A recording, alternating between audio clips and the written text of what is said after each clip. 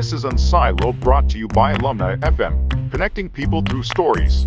Welcome to Unsiloed. This is uh, Greg LaBlanc, and I'm here today with uh, Daniel Simons, who is a professor of psychology at the University of Illinois and also the uh, co author of a couple books. Uh, most recently, a book called Nobody's Fool Why We Get Taken In and What We Can Do About It.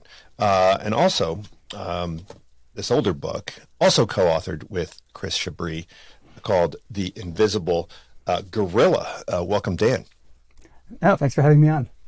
So, look, when I when I got this uh, latest book, uh, "Nobody's Fool," um, you know, of course, this is a topic uh, that is of deep interest to me, which is kind of how not to be persuaded, right? So, you know, we at business schools, we, we teach a lot of courses on, on persuasion, right? Like how to get other people mm-hmm. to, you know, agree with you. How do you get other people to kind of do what you want them to do? Mm-hmm. And I don't know, I, I, consider my role in the business school as kind of the, the one that teaches the students how, how not to be persuaded, how, not to, you know, get um, compelled to, to doing stuff that, you know, you, you shouldn't be doing. And so yeah. in, you know, my accounting class, I spent a lot of time on things like, um, you know, shenanigans, right? Accounting fraud. And, mm-hmm. and, you know, my um, data and decisions class spent a lot of talk, time talking about how people can uh, manipulate data and mm-hmm. and so forth. And and so you know when I saw that the title of this book was you know how why we get taken in and what we can do about it, it reminded me that when I talked to um, Bob Cialdini,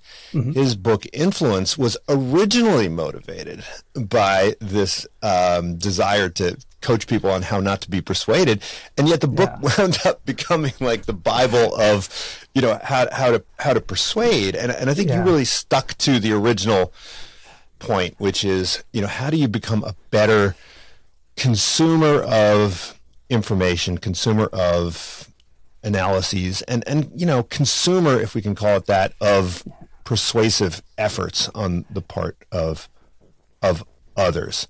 Um, so you know is this kind of like a, i think if your if your first book is kind of a guidebook to attention this is kind of like mm-hmm. a guidebook to persuasion although it clearly builds on the earlier book. Yeah and I, I think of the the first book as more uh, an exploration of how our intuitions about how our own minds work often can be misleading and can be wrong based on our experiences. And this book is more about how our patterns of thought and sort of the information that we find really appealing and attractive can lead us down the wrong path. Um, mm-hmm. you know, I hope it. I hope it doesn't become you know a how-to manual for scammers. I, I, don't think it will because that's not really what we're what we're aiming for. But um, you know, scammers already kind of understand how our minds work. They take advantage of it either implicitly or explicitly. They take advantage of what we find really appealing, what we what we want to believe. And the problem for most of us is that we don't typically think about how we can be deceived. So, in that sense, I, I think it's probably more less likely to become a tool for scammers than for users and consumers. Yeah, well, scammers or, or magicians also. Yep. Now, look, yeah, yeah. maybe I, I, was wondering, maybe we could start with the original, the first book, The Invisible mm-hmm. Gorilla, because you know this is really built on, I think, perhaps one of the most famous experiments you know, of, the, of our time.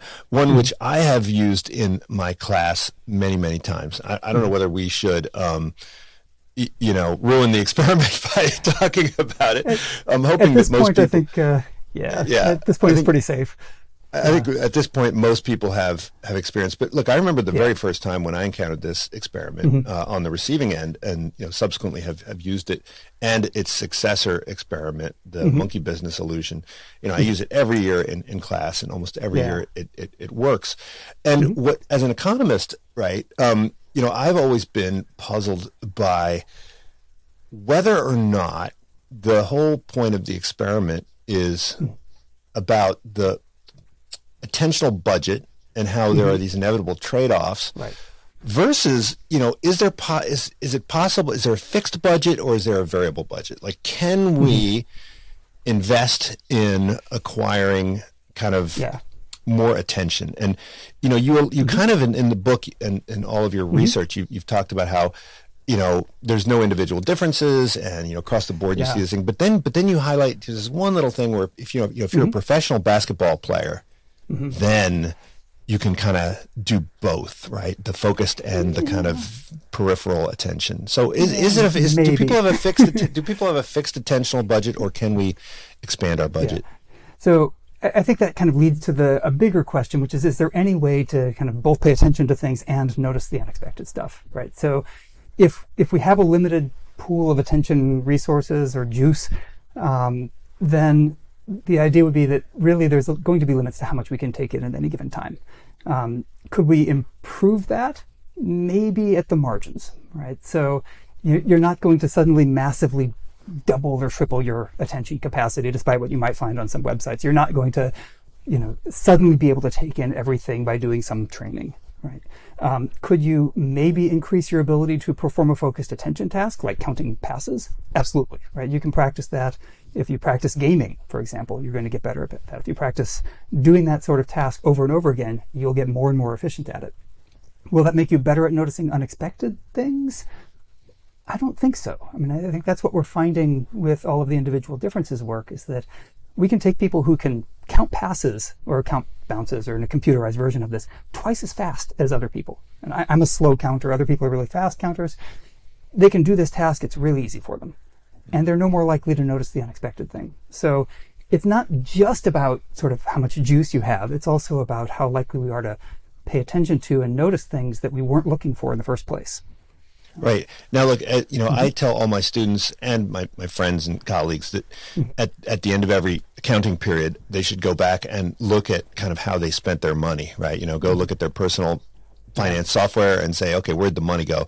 And then I, I, tell them also, you know, you should do this with your attention, right? Go mm-hmm. back and look and see, like, you know, where did your attention go? And I think one of the good things about your research is that it mm-hmm. really forces you to kind of bring that to the surface yeah. and say, like, okay, you know, where do I want to be uh, on this attentional, you know, mm-hmm. frontier?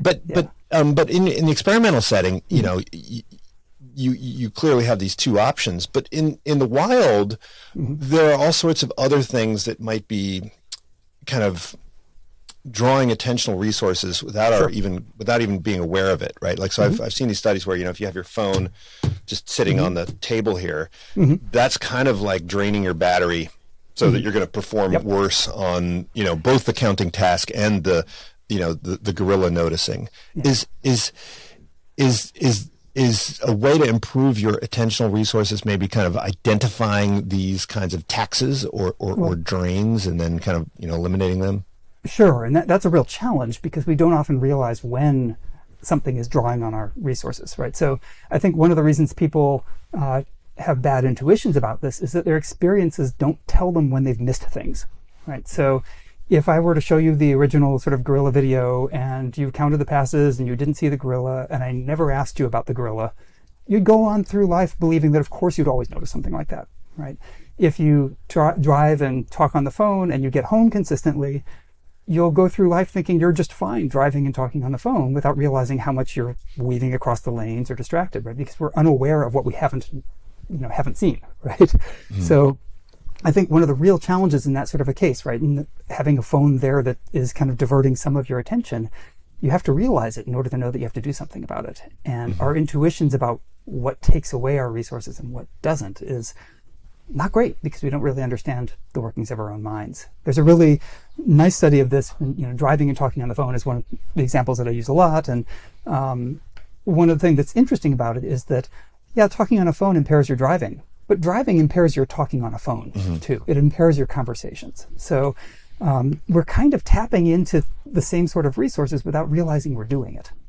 Right. Mm-hmm. Now, now, Max Bazerman and others talk about the power of being a noticer, right? Mm-hmm. And you know, yeah. you can tell stories about how you know, also there's a great example in the book about pilots who, mm-hmm. right, you know, failed to notice the you know runway incursions yeah. and so forth, which can lead to accidents. Mm-hmm. But you know, if we if we want them to start paying attention to that, then presumably they have to pay attention to something else uh, to to a lesser extent. Yeah. So, um, you know, how should we how should we think about mm-hmm. what the ideal allocation is? Obviously, it's going to be environmentally uh, contingent. Yeah. But you know, if we're, for instance, training doctors, mm-hmm. uh, radiologists, and so forth. I mean, yes, the radiologist is going to miss that that catheter, right, that you described mm-hmm. in the book. Yep.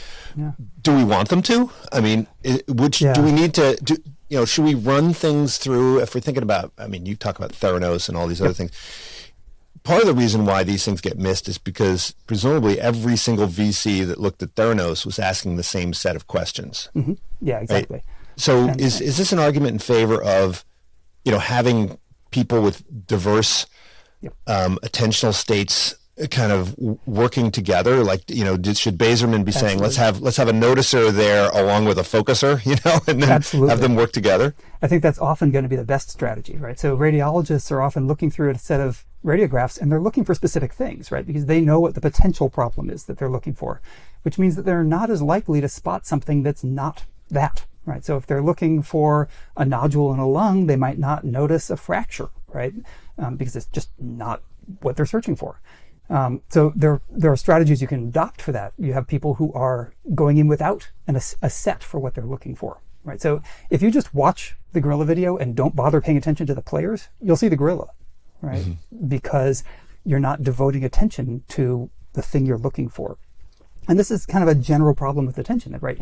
We, we tend to focus on one thing really, really well, and we need to do that. We need to be able to filter out those distractions. So you want people looking for the thing they're supposed to find, because most of the time, that's what you want them doing, right? You want them devoting their resources to the diagnosis that's most likely.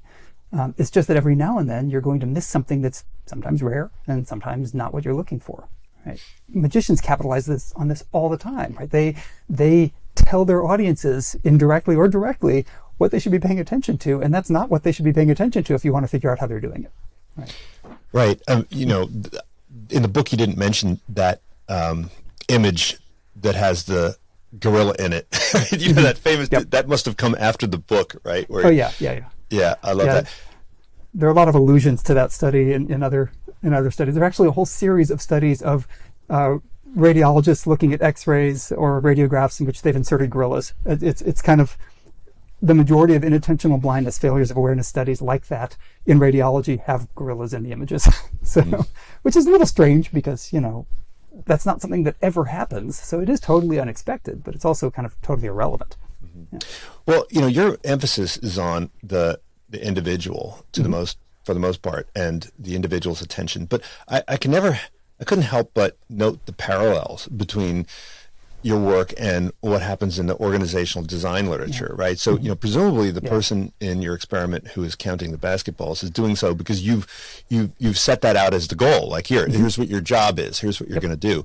And so when organizations, you know, tell their employees like, you know, here's your here's your job, here's what you're supposed to do, here are the metrics by which you're going to be evaluated, that necessarily, you know, is going to lead them to to focus on on those things, right? Yeah. So so, you know, can a lot of times we talk about you know organizations having to have kind of a, a single unity of, of purpose um, and, that- and that seems to maybe be a problem you know could should we should we have you know make sure that we have non-overlapping functions within the organization Yeah, or or even have people whose primary role is to question the assumptions, right? So having the equivalent of a red team, right? A team that is Yeah. not trying to further your goals; they're trying to point out weaknesses in your in your business plan or weaknesses in your in your you know product design.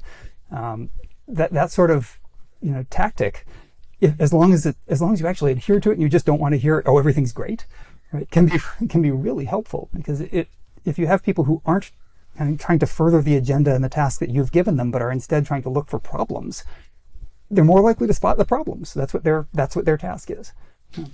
Yeah like in silicon valley bank right um, you know they had no chief risk officer for Yeah. like i mean i, I as, I'm, as someone who teaches banking i'm just Yeah. so blown away by how that could how you could possibly not have anybody within the organization sort of raising their hand and saying hey have we taken a look at our duration gap you know, in the Yeah. last couple of years Yeah, I mean, it's, it's a huge problem in, in most fields, right? It's true in the sciences as well. So in the sciences, we have peer review, right? So you, you're supposed to have experts who are thinking critically about your work. But a lot of shoddy work gets out there for various reasons. You've got small numbers of people looking at it, and there aren't really science police. I mean, there are very few of them who are almost all doing it voluntarily, going in and trying to track down where the problems are and get things corrected, right? So it, it's you know, it, ideally we'd we'd have risk officers or people who are looking for those problems all the time in in disciplines where it matters, right? Um, you know, in, in some cases it doesn't matter that much, but in in, in business it, it has costs, and in science it has you know long term consequences. Well, you spend a lot of time in the new book talking about the mm-hmm. kind of replication crisis, mm-hmm. right? And you know, Diederik bit, yeah. Stapel is my favorite example of this, right? He, what do you have, like 50, 55, and then 58, yeah, yeah. refracted papers. Mm-hmm. So you know, I talk about yeah. him in, in my class. I, I, also uh, talk about um, uh, Brian uh, Wansink, and I, mm-hmm. and I also talk about uh, Mark Hauser, mm-hmm. right? You know, and, and these these are examples of where you know the expert community was sort of you know yep. taken in. Um, mm-hmm. Now, yeah. is is that because of? I mean, there's system wide, it's a lack of mm-hmm. checks and balances, right, and mm-hmm. a lack of this you know red teaming. But but at each individual researcher level, I think mm-hmm. this this would fall into the um, I guess which of the four? Uh, I guess this would fall into the commitment. Um, yeah. Uh, the, the, the commitment um, mm-hmm. uh, yeah. heuristic, right? Yeah. I mean, it, it, actually multiples of these long-term scientific frauds kind of tap into multiple uh, sort of principles for why we why we fall for them. And what's interesting about many of these cases is they're typically caught eventually by a whistleblower, not mm-hmm. by you know looking at the scientific articles, because in cases like Stapel, right, his his work was clever, right? It was next step advances over previous studies, but it fit completely into the sort of zeitgeist of the field. It was it was kind of what people expected to see. It was just a little more impressive, right? Mm-hmm. Um, we should have been worried because his results were consistently good every single time, right? Um, you know, I, I, kind of heard people say, I don't know what's in the water in the Netherlands, right? People kept getting these amazing priming results that maybe other people weren't getting. But there, the incentive structure was to publish a lot of papers and to kind of get those perfect results.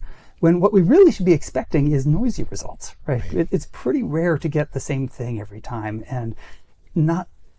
It doesn't really happen in, in psychology research, right? With the exception of things that are really well established and that are really pretty primitive to how we process the world. So yeah, if I do a study of how well you can perceive a faint symbol across against a gray background, and I do that by changing systematically how how much it stands out, we're going to get the same results every time, mm. right? It, it's pretty consistent. But if you're giving people a little priming task where they're unscrambling sentences and that changes their behaviors in the world, like, yeah, that's not going to happen. If it's true, if it happens at all, it's not going to happen the same way every single time. Right. Now, for each of the different psychological, uh, you don't use the term bias, right? But I think for yeah. each of these psychological tendencies that mm-hmm. is likely to lead you to error, you know, you provide uh, kind of a fix, right? Mm-hmm. And, you know, yeah. one, one of them is um, to view more skeptically the things that you agree with, right, mm-hmm. than the yep. ones that you disagree with, or the ones yeah. that confirm or conform to your your pre- presuppositions. Yeah. And you know, I, I had an earlier podcast, right, um, where I, I talked about this, right? We have a tendency to be pretty good at, at picking holes yeah.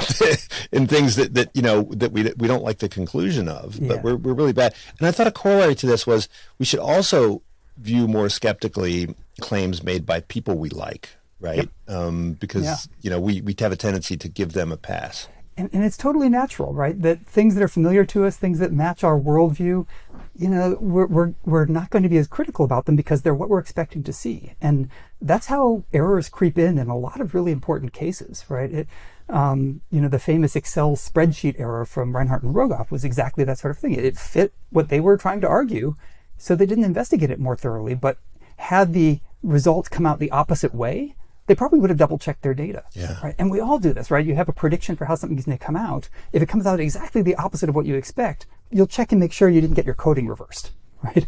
But if it comes out exactly like you expected it, you're probably less likely to.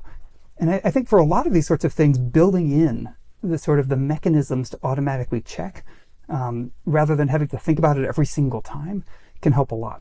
So having that sort of red team equivalent. Mm-hmm one thing you can do is have two people analyze the same data with different hypotheses going in. Do they end up with the same results? Or blinding yourself to what your conditions are so that when you analyze the data, you don't know what the outcome is until after you then reapply the labels and say, oh, okay, it came out in the direction I expected. Right? There, there are ways of sort of doing this in the sciences that can kind of take care of that problem uh, by eliminating your ability to influence and check uh, more thoroughly. It, you check your analyses before you get the data rather than after the data. How come we don't see more um, co-authors who come from different positions, right? This would seem to mm-hmm. make a lot of sense. Bring in people that start with different priors, different um, beliefs, yeah. and have them work together on experiments so that they can resolve them. It's like the idea of an adversarial collaboration where you yeah. get people who have disagreements and, and they come in and, and try and resolve them by doing the study. It's, it's a wonderful idea in principle that becomes really hard in practice, right? Um, just because if you're coming at something from different viewpoints, presumably you're steeped in this literature, there are debates in that literature, people disagree, and ideally you want to kind of come to the right conclusion. But with any data set, any one data set's unlikely to completely resolve something. Mm-hmm. Um, I think there is a solution to this, which is uh, what we now call registered reports. Um, it's kind of how most people think science actually happens, which is right. you come up with a hypothesis, you specify what you're going to do, then you get your data and you see which hypothesis was supported. Um, in practice, you know, it, it, doesn't tend to work that way. Um, so registered reports are a way that you can do this sort of adversarial collaboration where you specify in advance what different patterns of results, how you would interpret them, right? And you can even write all of the analysis code so that you can specify here's the conclusion it will automatically draw depending on how the data come out. And that has the advantage that it eliminates the um, it eliminates the ability to kind of after the fact reinterpret how you what you would have predicted, mm-hmm. which is how easily we can make sense of these things. I, I remember a, a, famous case in my field. I won't name names, but it was somebody who was doing a postdoc uh, postdoctoral fellowship with the person they disagreed with. And they designed a study to resolve their disagreement. And they ran the study and they each interpreted it as consistent with their views. right. right. So what do you do? Right. Yeah. Well, you didn't mention p hacking, but you know that's yep. that's another um, yeah. big tool in you know you, yeah. that that people use. Um, mm-hmm. So you know, I, I, teach a course on behavioral finance, and mm-hmm. um, one of the sections is on overconfidence. And uh, you know, we, we tend to think that this is uh, common among amateurs, but mm-hmm. the experts perhaps are even more susceptible to, to overconfidence than, than the amateurs. And and uh, you know, I love how you talk about Dan, Dan Kahneman. I mean, Dan Kahneman. Yeah to his credit, um, had to you know backtrack from his mm-hmm. earlier assertions in you know his book about priming studies. Um, yeah. Do, do you think? I mean, are, are are experts any better than, than amateurs when it comes to say overconfidence or willingness or credibility? Um, I think when they're in their own lane, absolutely, mm. right? Because expertise can be really protective. You're you're going to recognize cases where you know it, it just doesn't make sense. It doesn't hold together. It's inconsistent with other things that you know about. Um, the real danger comes in thinking you're an expert in things that you're not, mm-hmm. right? And you know, I think what happened with the the priming research that that Danny Kahneman sort of touted in Thinking Fast and Slow, um, and then much of it, much of that field sort of crashed and burned when others tried to reproduce and replicate their findings. Um, he, he later realized, okay, these were all small studies, but there were so many of them. I was you know, lead, leading to believe them. And I kind of wanted to believe them because I had this idea about you know, sort of automatic processing that fit it, right? Mm-hmm. So he wanted to believe it. He wasn't steeped in that literature or the methods in that literature. And I think he assumed that the way that people in his subfield of psychology did things, right, um, cognitive psychology, where there, there's much more of a focus on sort of getting the tasks right, right? Mm-hmm everybody kind of wants to be able to reproduce the results, even if it doesn't necessarily speak to anything in the world, which is the bigger issue for, for cognitive psychologists. Is we do lots of studies that hold up just fine. It's just not clear that they have any relevance to anything. Um, social psychology had a different sort of way of going about things, and I don't think he realized that there was sometimes a disconnect there between the practices and incentives and methods in one subfield versus another, um, and assumed that, well, of course people would make their data available, and of course they'd go and replicate their work before publishing it. And um, that wasn't the, the, standard in, in subparts of that field. Not, not the whole field, but in subparts of that field. Now, now look, the overall takeaway of the book, Nobody's Fool, I think is, mm-hmm. you know, trust less, verify more, right? Yep accept but, less, check more. Yeah, same same idea. Mm-hmm. But but yeah. but just like with attention, I mean, there's mm-hmm. you have a kind of a fixed budget, right? I mean, yep. you know, you have Absolutely. to go through life making yeah. assumptions. I remember my mom used to say, you know, don't assume makes an ass out of you and me. And I was like, mm-hmm. well, if I don't assume anything, like I can't get out of bed in the morning, right? Yeah, so exactly. Yeah. So so how do we how do we know whether we're kind of trusting to the to the optimal amount. And one of the reasons why, you know, I mean, in, in the in the law, like Article Two is like you just gotta you just gotta trust somebody and Mm-hmm. you know sort it out later. If if you go through life with your head on a swivel and you're constantly you know Yeah, that doesn't uh, work. aware of you know all the thing people everyone's robbing you and everybody's gonna then then you know you can't you can't get anywhere. So how do you No. know what the optimal allocation of trust resources Yeah. is? That's the real challenge. I mean, we have to we have to trust, and and we kind of have to accept what other people are telling us is true much of the time, right? It, otherwise, you really couldn't function. If you were a perpetual cynic and skeptic about everything, you, you couldn't get anywhere, right? You, you'd be checking the ingredients on every box of food you buy to make sure it truly is what it says it. I mean, there, there's you you couldn't function in society um, and be a perpetual skeptic. And there gonna be, there's going to be a spectrum of people who are going to be much more trusting and much less critical and skeptical, and others who are much more skeptical.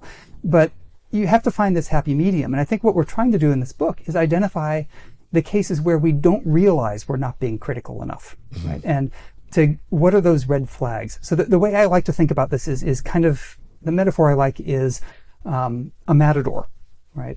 Um, the matador has this red cape and they wave it around and the bull just charges straight forward not even realizing that there's a blade hidden right and for us there are lots of those red capes out there and we don't realize they're red capes right so when somebody's presenting us with you know a great opportunity to buy something that we've always wanted to buy well that's a perfect case to be extra careful right? Because it's what we want. It's what aligns with our incentives. We you know it's kind of presenting it the way we want to expect it. And that's when we're likely to get scammed right? Or we really like the idea of really consistent results really consistent outcomes.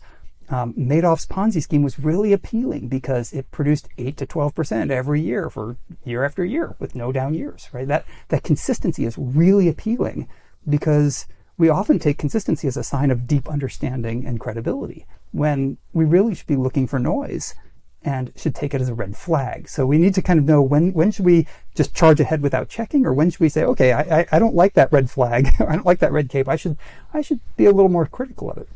So the, the purpose of our book is to kind of identify what are those things that that we tend to find really appealing. What stuff do we find appealing? What patterns of thought lead us to kind of jump right in without checking? And when should we balance that? Right. So mm-hmm. as you were saying, we can't check everything. There's no way. And you probably don't want to check the price of every item on your receipt against what was marked in the store. If you can afford a few dollars here and there that get, you know, lost because the register miscalculated, it's not worth your time, right?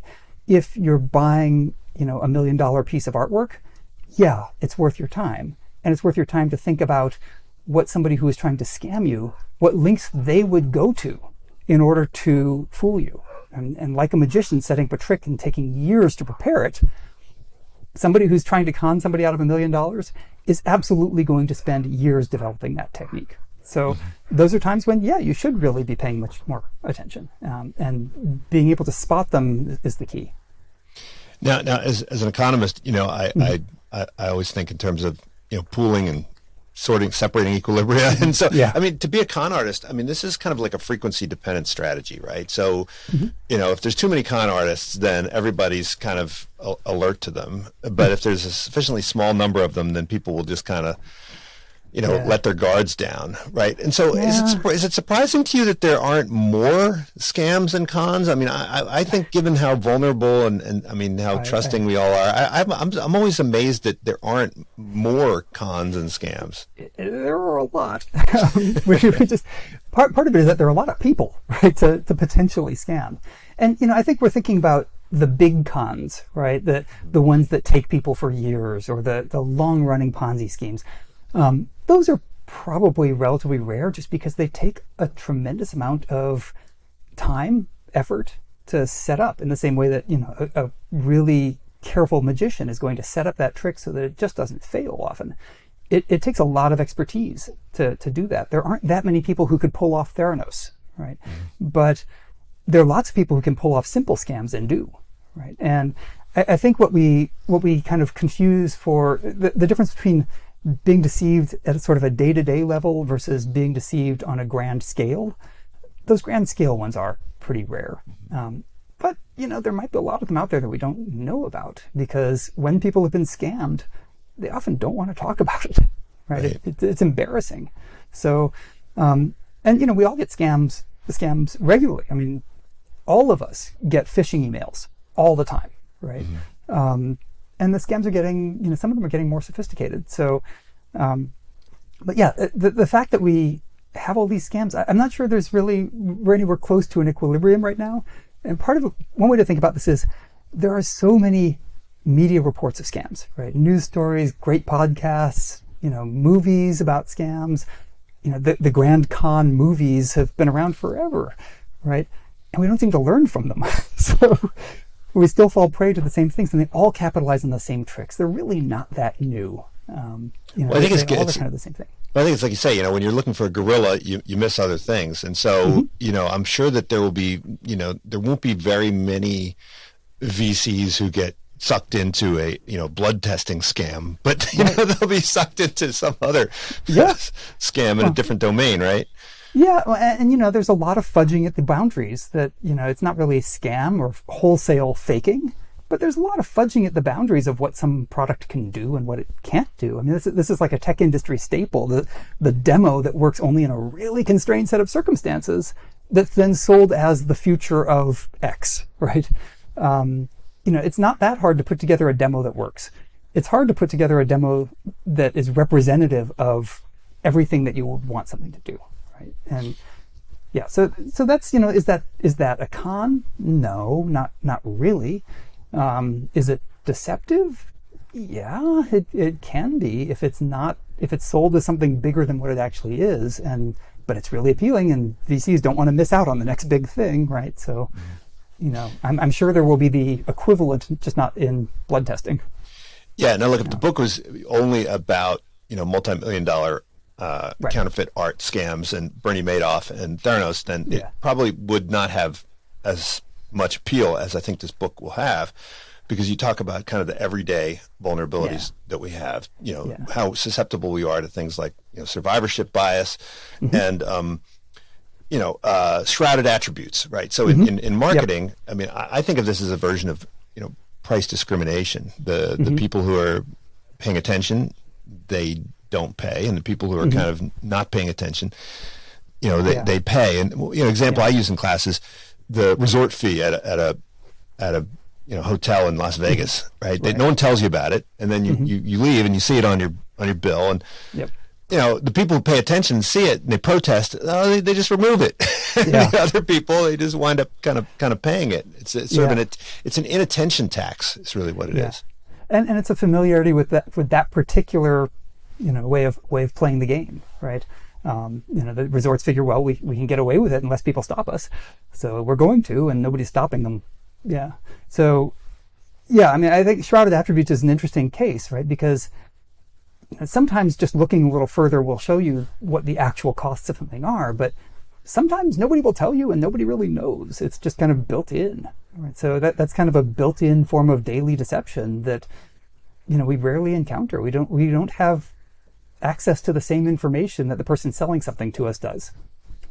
Well, another tool that I found super useful is this idea of the, the possibility grid. Yeah. And you know, it maps really nicely in with say, you know, a confusion matrix, right? In, in, in data science, right? Mm-hmm. Yeah. Where and I, I found it puzzling. You know, I've been teaching statistics for um, you know, 30 years and Mm-hmm. uh, I didn't never even before I started studying data science, I didn't know about the, Yeah. Mm-hmm. the confusion matrix. You know, we talk about type one, type two errors, but unless you arrange the data in that, you know, two by two grid, it's Yeah. it's It hard to doesn't really make sense. Yeah, it's Yeah. hard to make sense of the the legitimacy of of the the, the classifier of the test, right? Yeah, yeah, and, that's I, that's one of the things I can't. I teach statistics as well, and the whole type one, type two is is just not something that's easy to grasp.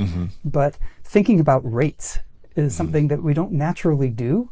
Um, but it's such an easy thing to do if you just take a little bit of time to lay it out that way, right? And realize, oh, okay, I don't know how often this this actually helps, right? So, you know, how many business books have we seen where it's like, hey, here's this, you know, amazing CEO. Look at all the great things they did. Here's their history, and that's why they succeeded. It's like, okay, well, how many people did exactly the same thing and failed, right? How many people didn't do those things that the CEO did and succeeded, right?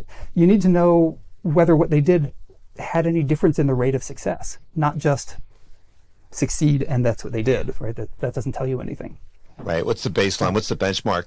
Um, Yeah. You know, wouldn't it be great if we could? I, I would love it if if I could reconstruct something like that for, you know, when I think somebody's scamming me and they're not, when, Yeah. when I don't think they're scamming me and they are. I mean, the problem Yeah. is is getting access to, to that data. Like, Yeah. uh, would we wouldn't we need to have that data to know whether or not we're sufficiently, you know, vigilant? Yeah, well, we often need that data in, in cases when we don't have it, right? So, I mean, one of the examples we use in the book is a consulting firm that's pitching you for their business. And what are they going to tell you about? Every success story that they had, right? They're not going to tell you about their failures typically, right? And in principle, they're just that those data aren't going to be available to you unless you ask for it. Right? Yeah. So one of the one of the key things, and it, it seems like it's kind of trite, but just you know, asking additional questions. You know, asking, you know, what aren't you telling me?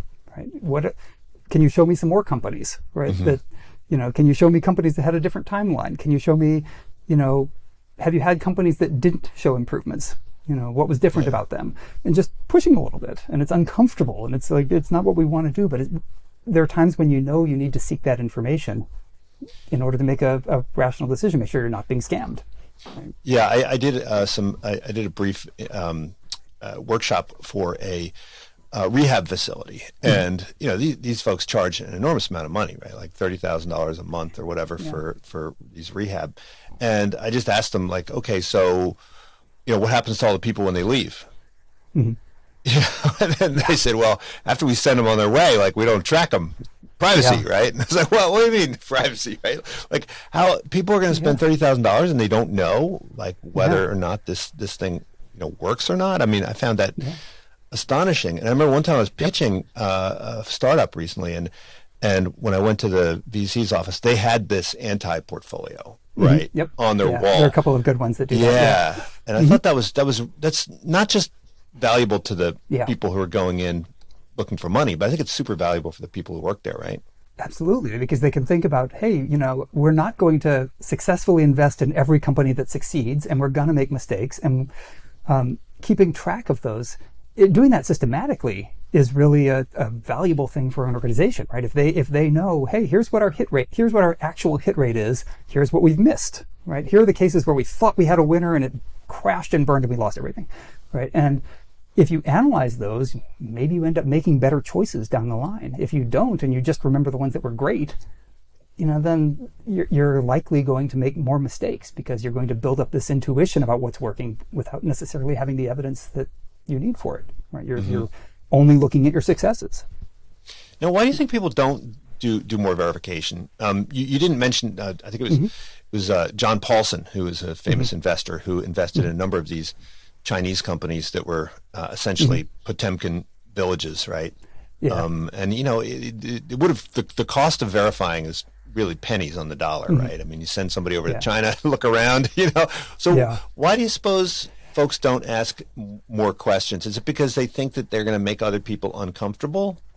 Well, it, it is uncomfortable, right? To, to push somebody and say, are you telling me everything that's, it's essentially saying, you're not giving me all the information, you're withholding, right? And, you know, it can make people defensive. So finding the right way to do that, you know, even if it's just, what more can you tell me? And just keeping continually doing that until they start telling you things that they wouldn't have thought to tell you. Um, it's kind of a journalistic skill. So it, it's, it's, it's a skill to learn how to do that.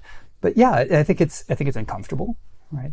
Um, if you've got a ton of money that you're investing, of course, they ha- keeping in mind that whoever you're trying to invest in has an interest in you giving them their your money, right? So um, they're going to present themselves in the best possible light, um, and if you can get them to say, "Hey, you know, if you are completely straight with me and give me all of the information, that's going to make me more trusting of you." You know, there mm-hmm. should be noise, right? Again, it's it's noise is often something that's good. If if everything somebody tells you is exactly what you would hope it is, you should be worried right? because you know that's that's like you know a massive lottery win right it just doesn't happen much Now, I, I did a podcast recently on, on parasites, and and uh, we said like let's take a let's look at the world through the parasite's perspective. Right? You know, who's who's a prime target, right? And it turns out you humans are pretty good relative to other creatures.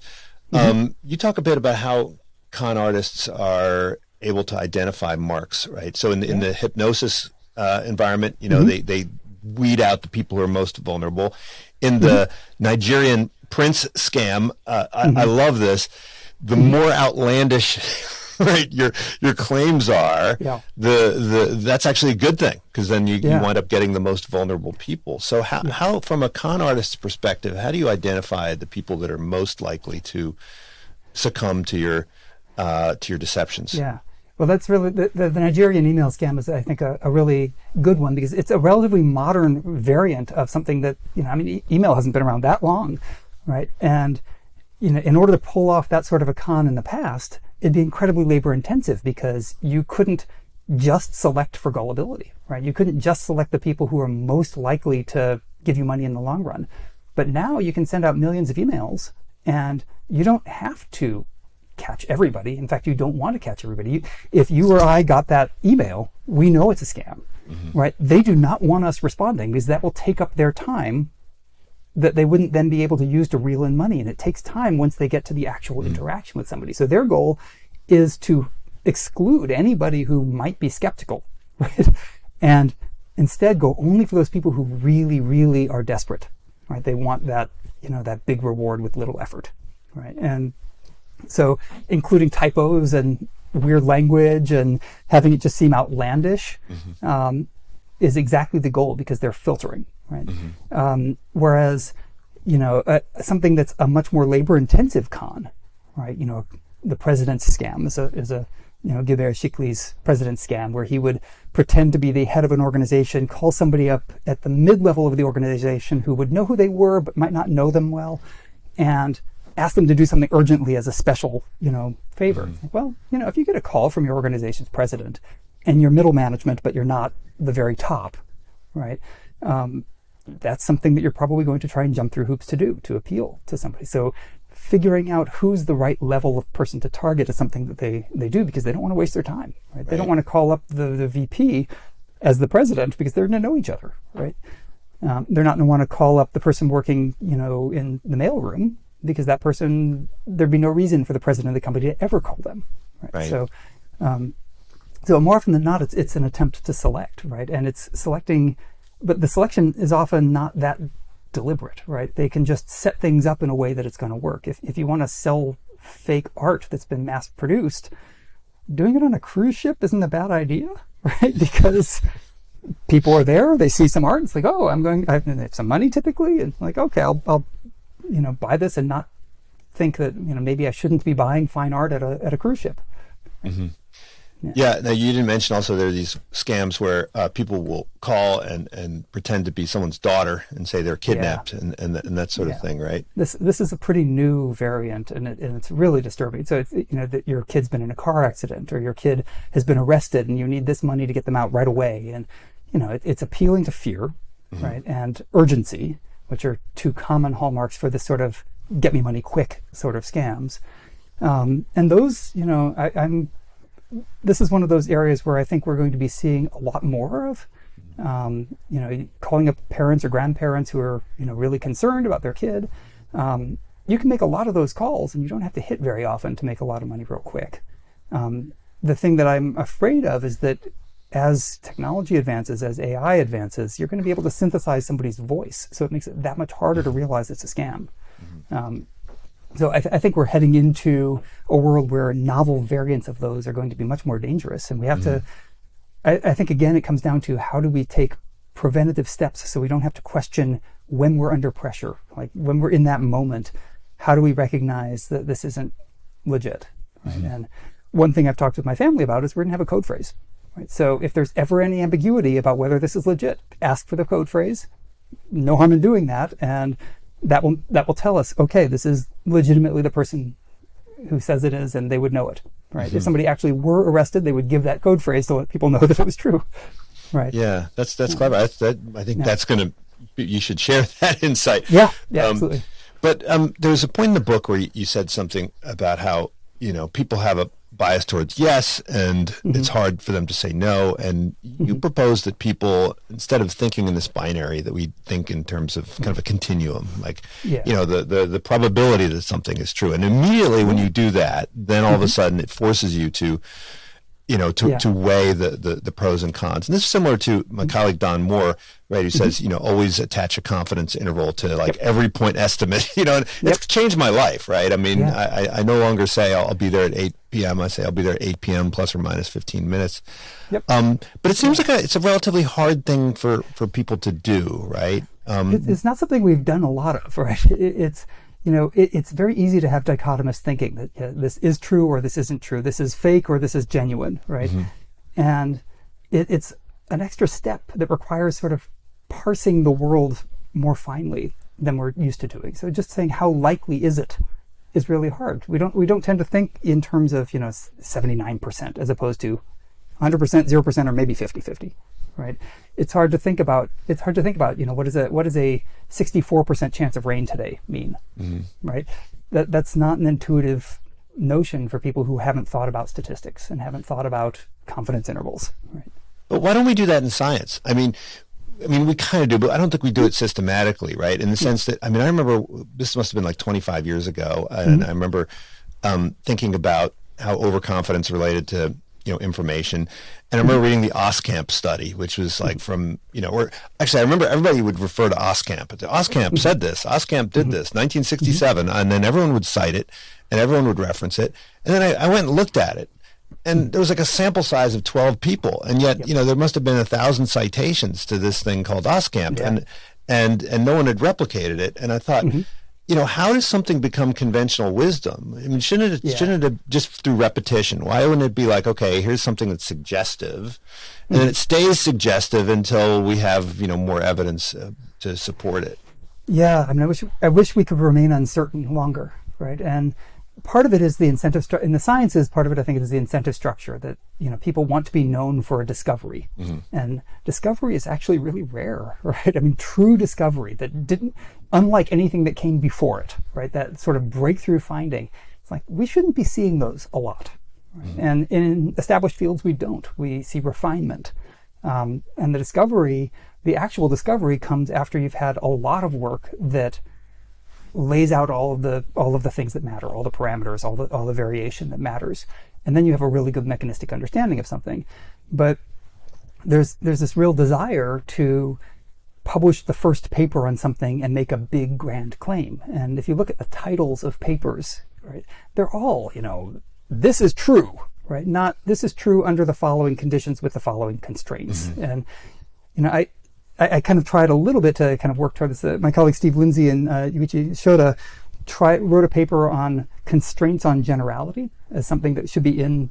Uh, I think in all empirical journal articles, it should be a statement of you know, what do we know about how general this is in terms of the people we studied or the materials we used? Do we know that this works outside of the lab? Do we know that this works with people other than college sophomores?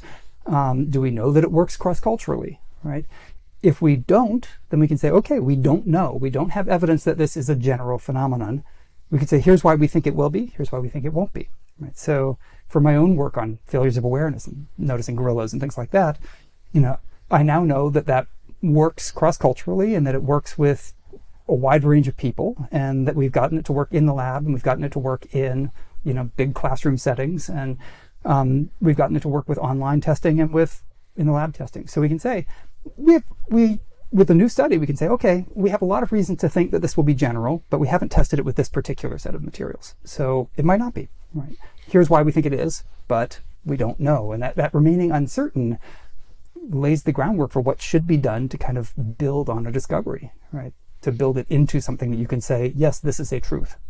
So if we had, say, truth police in the sciences, I mean, there'd be, I mean, I, I'm serious. I mean, Yeah. I, I know, you know, like my colleague Leif Nelson and Uri Simonsohn, I mean, they've kind of appointed Yeah. themselves as kind of the truth police.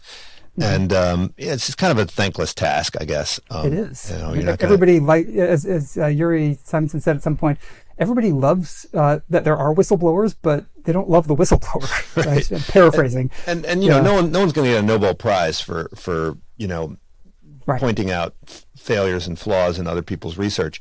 Yeah. But you get you get hated rather than getting awarded. Yeah. right, but Yeah. but it seems like if there were um, if there were these these uh, truth police, some of them could focus on the internal validity, and, and others could focus on the external validity, right? And so the, Yeah.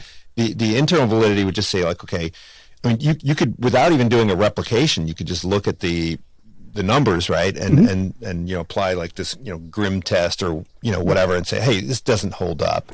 Then you know you could look at the, the, the data, see if the data is legit and so forth.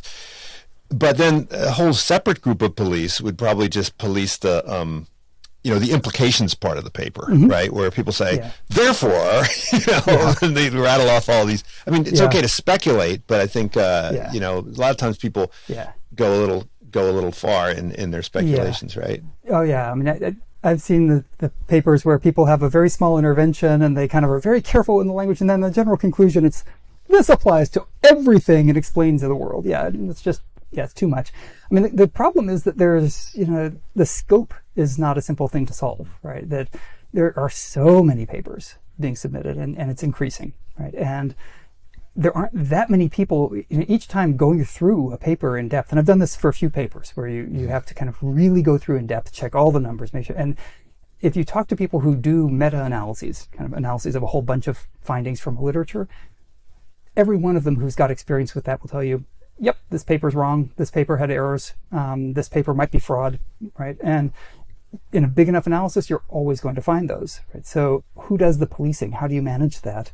The incentive structures to get the field corrected, they're not great. It's really hard to get papers pulled from the literature or even corrected. So, you know, unless there's a change to the structure of how publication works, it's hard to kind of get that fixed. There's just not enough, you know, Simonsohns and Leifs and um, you know Nick Browns, and there's just not enough of those folks around to really cover it. Um, I think there are ways to get part of the way there. So some journals have started requiring checking for, you know, just checking basic numbers. Like, do do the numbers add up? Do they meet this grim test? Do they do the p-values correspond to the test statistics they report? Right in the, in the statistics, those are easy and automatable, right? Um, so psychological science started doing that a few years back, and the number of p-value errors in papers is way down, right? Because it's a check just automatically before it goes to production, right? And if they find errors, they say, "Here's a problem," you know. And if it's a big problem, then they, they rethink it. If it's a little problem, it's okay. You made an error here. You copied and pasted wrong. Um, but yeah, I mean, I, I think that the field can improve in this, as it requires more analysis code to be available and more data to be available. But it's it's a hard problem. Now, what, what about at the more kind of general public level? Um, Mm-hmm. Yeah. Look, I mean, uh, it's great to have someone say, when you walk down the street, make sure you look around your shoulders and walk down. I Mm-hmm. I used to live in a neighborhood where I have to walk down the middle of the street and you'd be looking around. And I thought, you know, it'd be much nicer just to have safe streets, right? you know, maybe have Mm-hmm. Yeah, some decent police or whatever. Um, And so, you know, on the internet, everybody Mm-hmm. is zapping these, you know, clickbait headlines to everybody, and they don't. Yeah. Sometimes they don't even read them, and and and these things proliferate. And while we have like the SEC, which kind of does its job on public securities, Mm-hmm. and we have the FTC that kind of protects against certain you know claims, we don't really have you know the the truth police on the internet. I mean, there have been Yeah. attempts. I know um, folks. I know some folks at Facebook that have tried to They're fine, but yeah, tried to Mm-hmm. Yeah. monitor this, but but um, you know, at the end of the day, yeah. is, is it just like, hey, there are certain domains like social media that are just like dangerous streets, and we, there's too much work to to, to kind of wade Yeah. between the, the, the truth and the falsities. Should we just it, stay it out sure of those feels neighborhoods? like that. I mean, that, that's kind of the the big challenge for any social media company is moderation, right? And that that's why people who have run social media companies were, you know, doubting that Elon Musk would be able to do it effectively because he didn't seem to realize that you can't just make everything a free for all because then you get people planning terrorist actions, right? And mm-hmm. You have to moderate, right? There has to be some moderation, and that balance between moderation and censorship is not trivial. Right? So, you know, what what kind of truth policing do you need for social media? It's really hard if people are just going to forward things that they like, and this this happens all the time. People forward things that fit their own beliefs without checking whether they're they're right or not. Right? And often, the more you dig, the more you realize they're just nonsense. Right? But it, it's really hard to how do you, how do you kind of regulate that? There are places like Snopes and other sites that will say yes, this is fake, right? But that doesn't stop it from getting out there in the same way that that you know study that's completely implausible that had 12 participants and has never been replicated gets cited thousands of times because nobody actually goes back and and says no this isn't what we should be saying about it right mm-hmm. the, the corrections don't get cited the original claims do um, so yeah I, I don't know if there's an easy fix for that as an automated system other than just getting people to say is it possible that this is wrong right um, you know how would i how would i verify that this is right just mm. taking that one question and then you you get that confidence interval that you were mentioning around it like maybe this isn't true right well look I, we didn't even dig into all the, the habits and the hooks but but yeah. i think the, the, the general project that you're um, mm. Involved in i mean it, it seems a bit paradoxical because on the one hand you emphasize the the finiteness of our attentional resources mm-hmm. but on the other you know you really are trying to help people become better decision makers, become yeah. more aware of the possibilities and limitations of their of their intuition. So, mm-hmm. I mean, are are you an optimist or a realist when it comes to helping people engage the world in, in a more thoughtful and, and, and useful way? Uh, I, I, guess I'd say I'm an optimist in the sense that I think it's possible, right, to better understand, you know, how we think, how understand ourselves in a way that can help us prevent kind of the worst cases of deception. So I'm an optimist in the sense that, yeah, I think we really can head off disaster if we're aware of what we find appealing, what which things are those red capes that we just charge forward into without thinking about them. If you can kind of anticipate, hey, this is one of those situations, and the more you kind of think about it, the more you recognize them. You know, we spot these all the time now um, where you're just running into something blind, not realizing what might be hiding. Um, if you kind of start to look for those, that can really head off a lot of disasters. Mm-hmm. Right? So I'm an optimist in the sense that I think it's possible. Um, I'm a realist in the sense that not everybody's going to do it. Mm-hmm. Right? So you know the scammers are going to continue to succeed because they'll find somebody else. So on a global scale, you know, I'm, I'm not optimistic about scams being eliminated because you know they've been around forever, but I'm optimistic that individuals can get around this problem, or at least most of the time when it matters the most, as opposed to worrying about it when it doesn't matter. And and do you do you do periodic gullibility audits of your own, um, you know, uh, trust behavior? do you, do you and, and, is it and do you do it? Is it domain specific? Right. So you say, okay. You know, when it comes to my finances. Mm-hmm. I have this level of trust when, when yeah. I'm reading about um, vaccines and so forth. I have this level of trust. I mean, how, do, yeah. you, do you how how free you know how frequently do you need to kind of go in and, and rebalance your, your your trust portfolio? Is this something that's a continuous time thing, or is this sort of you know once a year I'm going to go back and, and audit my my gullibility? Um, I, I think of it as a little bit like balancing. You know, like you don't want to be doing that you know, if you have a, a set of investments, you've got some mutual funds, you've got some bonds, you don't want to be rebalancing every three days because that's not smart and it's not cost effective. You want to kind of take a look every now and then, you know, once a year, and just make sure that you've kind of got your balance right. Um, for me, I find that it's more on a specific case by case basis. So um, I generally, if somebody shares something on social media, you know, I, I, now know if it really appeals to me, I should say, okay, what's the evidence for that? Mm-hmm and I'm going to remain uncertain for a little bit longer, right? Um, and it's hard to do that when you see something that perfectly matches what you want to believe. So I, I tend not to immediately reshare things on Twitter um, based on a headline or on Facebook based on a headline or a blurb, and I'll, I'll look at it and say, okay, could this be faked to kind of propagate? And you know, more often than not, it's like, yeah, it could be. So I'm just going to hold off on sharing that. Mm-hmm. And just that alone you know, just that asking that question can make a big difference for, you know, not spreading misinformation. Right. Well, Dan, thank you so much. Um, new book Absolutely. is new book's called Nobody's Fool. Definitely check it out. Um, also, Visible Gorilla. I mean, it's still amazing. I was rereading yeah. it and I was like, oh, I love it. Now I remember why I love this book.